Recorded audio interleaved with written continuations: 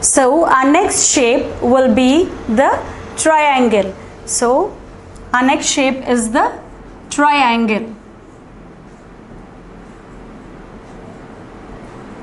A triangle has three sides and three corners. So a triangle has three sides, one, two, three, three sides and one, two, three, three corners. So we will see some examples of the triangle.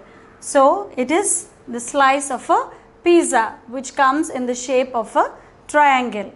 The next is your watermelon, the fruit watermelon. You can slice it in the shape of a triangle. The next is your traffic signal.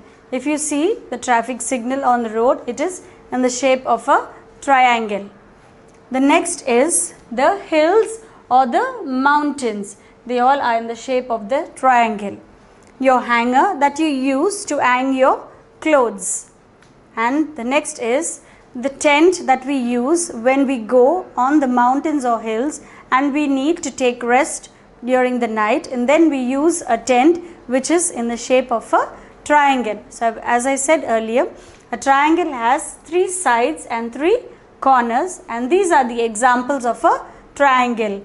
The pizza, the watermelon, the traffic signal, the hills or the mountains, the hanger that you use to hang your clothes and the tent that you use when you go mountaineering. So, we have seen three shapes today that is the square, the circle and the triangle. So, these are the three shapes that you find in different objects that we come across every day in our activities. So, I do hope you have enjoyed watching these three shapes and the examples. So, a small activity for you when you are at home, you can collect small objects and segregate it or separate it according to its shape. The objects in the shape of a circle, you can keep it in one cup. Then the objects in the shape of a triangle, you can keep it separately and the objects in the shape of a square, you can keep it separately. So, this will help you to learn the different types of shapes.